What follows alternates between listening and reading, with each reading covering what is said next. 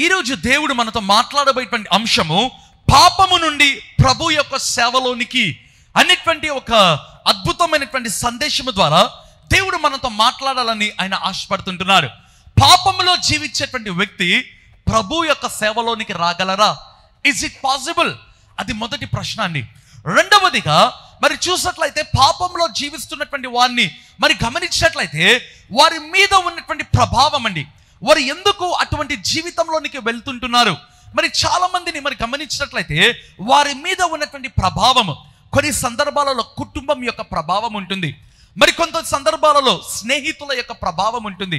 మరి కొన్ని సందర్భాలలో పరిస్థితులను బట్టి వారు పాపంలోనికి వెళ్ళేటువంటి వ్యక్తులుగా మరి చాలా మందిని మనం చూస్తుంటామండి. అయితే ఈరోజు దేవుడు మనతో మాట్లాడబోయేటువంటి అంశము పాపములో నుండి ప్రభు యొక్క సేవలోనికి అనేటువంటి ఒక ప్రాముఖ్యమైన అంశము ద్వారా దేవుడు మనతో మాట్లాడాలని ఆయన ఆశపడుతుంటున్నాడు. ఈరోజు సందేశంలో మనం చూసినట్లయితే కుటుంబమును గురించి మనం ధ్యానించుకోబోతున్నాం. అదే రీతిగా యవనస్తులను గురించి కూడా అండి. ఏ విధంగా ఒక కుటుంబము ఒక వ్యక్తిని మారుస్తుంది? ఏ విధంగా ఒక సమాజము అనేటువంటిది ఒక వ్యక్తిని మారుస్తుంది? అనేటువంటి అంశము ద్వారా దేవుడు మీతో మాట్లాడబోతున్నాడు. బైబిల్ గ్రంథంలో చూసినట్లయితే రహాబు అనబడినటువంటి స్త్రీ మనకు కనిపిస్తుంది. బైబిల్ గ్రంథంలో చూసినట్లయితే సౌలు పౌలుగా మారినట్లుగా ఆ యొక్క సమరయ్య స్త్రీ స్వార్థికురాలుగా మారినట్లుగా. సో చాలా మంది జీవితంలో కూడా పాపంలో జీవిస్తున్నటువంటి వాళ్ళు దేవుని యొక్క సేవకులుగా వాళ్ళు మారినటువంటి సందర్భాలు ఉంటున్నాయి. అయితే ఈరోజు యఫ్తాను గురించి మన దేవుడు మనతో మాట్లాడాలని ఆయన ఆశపడుతుంటున్నారు దేవుని వాక్యంలో చూసినట్లయితే న్యాయాధిపతులు పదకొండవ అధ్యాయము మూడవ వచనం మనం చదువుకుందాం. యెఫ్తా తన సహోదరుల ఎదురు నుండి పారిపోయి టోబో దేశంలో నివసింపగా అల్లరి జనము యెఫ్తా ఎద్దకు వచ్చి అతనితో కూడా సంచరించుచుండెను. చాలండి. యఫ్తా జీవితంలో మనం చూసినట్లయితే మూడు ప్రాముఖ్యమైన విషయములను లేదా భాగములను మనం చూడబోతున్నాం. మొదటిది ఏంటిదంటే పాపములో జీవించిన యఫ్తా. అది మొదటి భాగం. రెండవదిగా ఏంటిదంటే పాపమును ఒప్పుకున్న యఫ్తా. మూడవ భాగం ఏంటిదంటే అభిషేకం పొందుకున్నటువంటి యఫ్తా. ఈ మూడు భాగములను గురించి దేవుడు ఈరోజు మీతో మాట్లాడాలని ఆయన ఆశపడుతున్నాడు. సరే దేవుని వాక్యంలో చూసినట్లయితే రాయబడినటువంటి మాట అతడు పారిపోయి తోపు దేశమున నివసింపగా అల్లరి జనము వచ్చి యఫ్తా యొద్ద చేరెను. ప్రేమిన వాళ్ళ యఫ్తా జీవితంలో మనం చూసినట్లయితే స్పిరిచువల్ డిస్ట్రక్షన్ జరిగిందండి. ఆత్మీయంగా పతనము మీరు అనొచ్చు. ఏ విధంగా అతడు ఆత్మీయంగా ఉన్నాడు? ఏ విధంగా ఆత్మీయంగా పతనమయ్యాడు? నేను తర్వాత భాగంలో చూపించబోతున్నానండి. రెండవదిగా చూసినట్లయితే సమాజంలో అతడు పతనమైనటువంటి వ్యక్తి. మూడవదిగా చూసినట్లయితే కుటుంబంలో ప్రేమను కోల్పోయినటువంటి వ్యక్తి. నాలుగవదిగా చూసినట్లయితే సమాజము కూడా యఫ్తాను తిరస్కరించినట్లుగా లేదా రిజెక్ట్ చేసినట్లుగా మరి చూడగలమండి. ఎందుకు ఈరోజు అనేక మంది యవనస్సులు పాపంలో వెళ్తుంటున్నారు? ఎందుకు వారు అనేకమైన అఫైర్స్ గుండా వెళ్తుంటున్నారు? లేదా అనేకమైనటువంటి ఇక అనానుకూలమైనటువంటి పరిస్థితులు అందామా? లేదా పాపపు పరిస్థితుల గుండా ఎందుకు యవనస్సులు వెళ్తుంటున్నారు? కారణం ఏంటిదో తెలుసా? వారి జీవితంలో జరుగుతున్నటువంటి పరిస్థితులు వారి జీవితంలో వారు వెళుతున్నటువంటి స్థితిగతులు లేదా కుటుంబం యొక్క ప్రభావము కూడా చాలా ఉంటుందండి. దేవుని వాక్యంలో చూద్దామా న్యాయాధిపతులు పదకొండవ అధ్యాయము పదకొండవ వచనము మనం చూద్దామా Judges chapter eleven verse eleven కాబట్టి యెఫ్తా గిలాది పెద్దలతో కూడా పోయినప్పుడు జనులు తమకు ప్రధానుని గాను అధిపతిని గాను అతని నియమించుకొనిరి. అప్పుడు యెఫ్తా మిస్పాలు యెహోవా సన్నిధిని తన సంగతంతయు వినిపించెను. చాలండి. యఫ్తా జీవితంలో అకస్మాత్తుగా మిస్పా అనుభవము కొద్దిసేపు మనం ధ్యానించుకుందామా? What is the experience of Mizpah? Mizpah అనుభవం అంటే ఏంటిది? ప్రిమిన వలన దేవుని వాక్యంలో రాయబడింది కదా యఫ్తా గిలాదు పెద్దలతో కలిసిపోయాడు. ఎప్పుడైతే పెద్దలు వచ్చి యఫ్తా దగ్గరికి యఫ్తా మరి అమ్మోనీలు మా ఇద్దరు మా మీదకి యుద్ధంకి వస్తున్నారు నీకు నీ సహాయం మాకు కావాలి అన్నప్పుడు యఫ్తా అన్నటువంటి మాట మనకందరికీ చదువుకున్నాం ఇంతవరకు కూడా తెలుసు. మీరు నా మీద పగపట్టి నన్ను వెలివేస్తేనే నా సహాయము మీకు కావాలనా? వాళ్ళు అన్నటువంటి మాట నేను మిమ్- మేము నిన్ను న్యాయాధిపతిగా ఏర్పరచుకుంటాం. సో ఆ సమయంలో ఎఫ్త అన్నటువంటి మాట అమ్మోనియల నుంచి నేను మిమ్మల్ని విడిపిస్తే నేను మీకు అధికారిని అవుతానా? నేను మీకు న్యాయాధిపతిని అయిపోతానా? ఈ మాటలు మాట్లాడిన తర్వాత ఎఫ్త గిలాదు పెద్దలతో వెళ్ళినట్లుగా మనం చూడగలమండి. సరే దేవుని వాక్యంలో రాయబడింది కదా అప్పుడు ఎఫ్త మిస్పేలో యహోవా సన్నిధిని తన సంగతి అంతయు వినిపించెను. అకస్మాత్తుగా ప్రార్థనా పరుడుగా మారిపోయాడండి. తన సంగతి యహోవాకు వినిపించాడు అంటే అర్థం ఏంటిదంటే అకస్మాత్తుగా Jephthah he became a prayer warrior or a praying person Jephthah అనుకునిండొచ్చు ఒకవేళ ఎక్సైట్ అయిపోయిండొచ్చు ఓ మీ నా యొక్క అవసరత మీకు వచ్చిందా? లేదా ఒకవేళ ఆ విధంగా గర్వించి ఉండవచ్చండి. నేను న్యాయాధిపతినా? ఒకవేళ పరవశించి ఉండవచ్చు. అయితే యఫ్తా అలా చేయలేదు. యఫ్తా ఉప్పొంగిపోలేదు. యఫ్తా ఎగ్జైట్ అవ్వలేదు.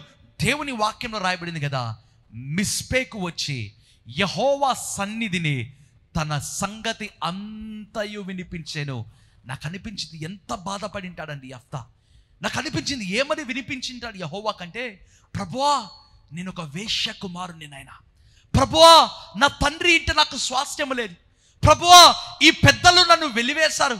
నాకు అనిపించింది టోపు దేశంలో అతను ప్రార్థన చేసుకోలేకపోయి ఉంటాడు కారణం ఏంటిది? అల్లరి వాళ్ళ సహవాసము. ఎప్పుడైతే నీ సహవాసములో నీ అల్లరి ఒకవేళ అల్లరి వాళ్ళు ఉంటున్నారా లేదా పాపంలో జీవిస్తున్న వారు ఉంటున్నారా నీ జీవితంలో ఇంకా ప్రార్థన ఉండదు. ఎప్పుడైతే అల్లరి వాళ్ళని విడిచిపెట్టి తోపు దేశమును విడిచిపెట్టి మిస్పాకు వచ్చాడో అతడు యహోవ సన్నిధిలో వినిపించడం ప్రారంభించాడు. యఫ్తా కూడా అండి టోపు దేశం నుంచి అతడు యొక్క యుద్ధములు చేయకముందు మిస్పాకు వచ్చాడు. తన హృదయంలో ఉన్నదంతా కూడా కుమ్మరించాడు. పాపములు ఒప్పుకోవడం ప్రారంభించాడు. ప్రేమైన వాళ్ళ మొదటిది యఫ్తా జీవితంలో పాపపు జీవితమును కలిగి ఉన్నాడు. రెండవదిగా పాపములను ఒప్పుకోవడం ప్రారంభించాడు. నీ జీవితంలో దేవుడు అడుగుతున్న ప్రశ్న do you have an experience of Mizpah Mizpah అనుభవము నీవు కలిగి ఉన్నావా? లేదా ఇంకా కూడా పాపపు జీవితంలోనే కొనసాగుతుంటున్నావా? లేదా మిస్పాలో నీకు వచ్చి పాపములను ఒప్పుకునే జీవితంలో నీవు ఉంటున్నావా? యఫ్తా జీవితంలో మూడవ భాగంలోకి వస్తామా న్యాయాధిపతులు పదకొండవ అధ్యాయము ఇరవై తొమ్మిదవ వచ్చిన మనం చూసుకుందాం. యెహోవా ఆత్మ ఎఫ్తా మీదికి రాగా అతడు గిలాదులోను మనషేలోను సంచరించుచు గిలాదు మిస్పేలో సంచరించి గిలాదు మిస్పే నుండి అమోనీల ఎద్దకు సాగెను. చాలండి. యఫ్తా యొక్క ప్రయాణం మీరు చూడండి. టోపు దేశం నుంచి వచ్చాడు. అల్లరి వాళ్ళ దగ్గర నుంచి వచ్చాడు.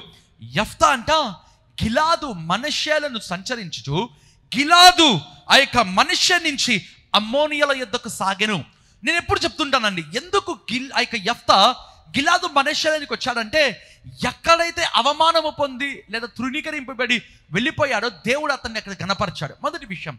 రెండవదిగా దాని అర్థం ఏంటిదంటే ప్రిమిన వాళ్ళరా ఇంతకుముందు టోపు దేశములో ఉన్నటువంటి వ్యక్తి ఒకవేళ పాపము అందమా లేదా ఒక ఫారిన్ ల్యాండ్లో ఉన్నటువంటి యఫ్త ఇప్పుడు అకస్మాత్తుగా గిలాదులోనికి వస్తుంటున్నాడు. దేవుని యొక్క పరిచర్య చేయడానికి దేవుని యొక్క యుద్ధములు చేయడానికి ముప్పై వచ్చంలో మీరు చూసినట్లయితే ఏమని ఉంటుందంటే యహోవాకు మ్రొక్కుకొనేను. దాని అర్థం ఏంటిదంటే ఇంతకుముందు యఫ్తా జీవితంలో తన యొక్క భాగ్యస్వాములు అందమా?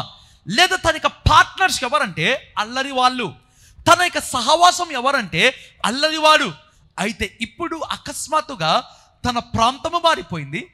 టోబు నుంచి గిలాదు మనశ్శలానికి వచ్చేసాడు మరి చూసినట్లయితే అల్లరి వాళ్ళ దగ్గర నుంచి వారి యొక్క పార్ట్నర్షిప్ ఒకవేళ బ్రేక్ చేసుకున్నాడు ఇప్పుడు యహోవాకు మొక్కుకుంటున్నాడు అంటే అర్థం ఏంటిది? దేవునితో భాగ్యస్వామ్యం అందమా దేవునితో పార్ట్నర్షిప్ చేసుకుంటున్నాడండి. ఈరోజు దేవునితో మాట్లాడుతున్నటువంటి మాట ఏంటిదో తెలుసా? హూ ఈజ్ యువర్ పార్ట్నర్ నీ పార్ట్నర్ ఎవరండి? ఒకవేళ నా సందేశం వింటున్నటువంటి వారిలో ఎవరస్తులు ఉన్నట్లయితే ఎవరస్తులారా హూ ఈజ్ యువర్ పార్ట్నర్ నీ పార్ట్నర్ ఎవరుగా ఉంటున్నారు? టోపు దేశంలో ఉన్నటువంటి వ్యక్తిగానే ఉన్నావా? లేదా మిస్పాకు వచ్చావా? టోపు దేశంలోనే ఉంటున్నావా? లేదా ఒకవేళ గిలాదు మనుష్యులనికి వచ్చి ఉంటున్నావా? ఆ తర్వాత దేవుడు యఫ్తాను వాడుకొని బలమైన యుద్ధము చేసే వ్యక్తిగా మార్చాడండి. ఈరోజు దేవుడు యఫ్తా జీవితం ద్వారా మీతో మాట్లాడిన మాట ఏంటిది? సందేశము. మొదటిగా యఫ్తా పాపములో జీవించాడు. రెండవదిగా యఫ్తా మిస్పా అనుభవం కలిగి పాపములను ఒప్పుకున్నాడు. మూడవదిగా పరిశుద్ధాత్మ అభిషేకం పొందుకొని యహోవాతో భాగ్యస్వామ్యం చేసేసాడు partnership he became a partner with God దేవునితో జత కలిశాడండి. He became a co worker or co labourer with God దేవునితో జత పనివాడుగా మారిపోయాడు. ఈరోజు దేవునితో మాట్లాడుతున్నటువంటి మాట తల్లిదండ్రులారా లేదా కుటుంబంలో దేవుని మీతో మాట్లాడుతున్నటువంటి మాట నీ యొక్క కుటుంబము లేదా నీవు ఒక వ్యక్తిని ఏ విధంగా ప్రభావం చేస్తుంటున్నావు? లేదా పరిస్థితులు ఏ విధంగా ఒక వ్యక్తిని ప్రభావితం చేస్తున్నాయి? లేదా ఒకవేళ యవనస్తులారా హూ ఇస్ యువర్ పార్ట్నర్ నీ యొక్క జత ఎవరు? నీ పార్ట్నర్ ఎవరు? అల్లరి వాళ్ళు ఉన్నారా?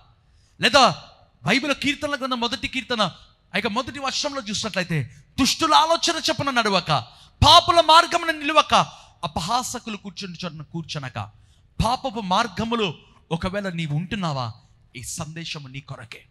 దేవుడు మీతో మాట్లాడుతుంటనగా పాపములో నుంచి బయటికి వచ్చి పాపములను ఒప్పుకుంటూ మిస్వ అనుభవం కలిగి దేవునిని ఒక పార్ట్నర్గా పెట్టుకోవాలి అని దేవుడు మీతో మాట్లాడుతున్నాడు. అలలుయ తలలు ఉంచినట్లయితే ప్రార్థన చేసుకుందామా?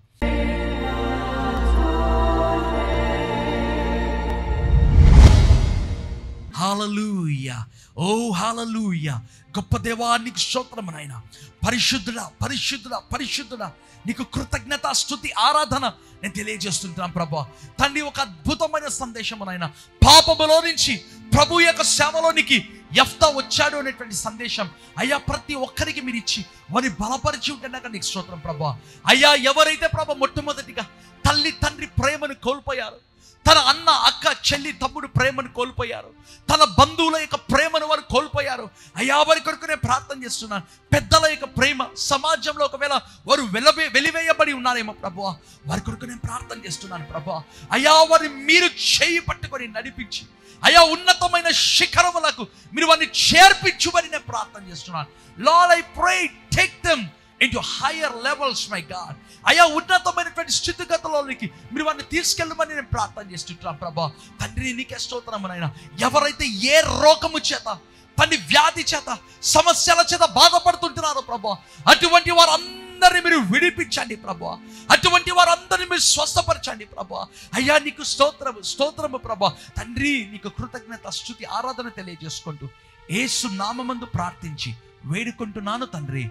ఆమెన్. ప్రేమిన వలర Joseph Prasanna Kumar YouTube channel subscribe చేయడం మర్చిపోద్దండి.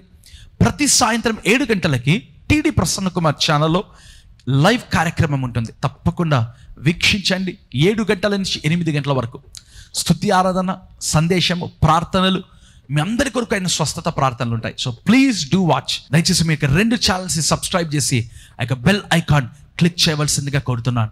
దేవుడు మిమ్మల్ని దీవించిన గాక. ఆమెన్.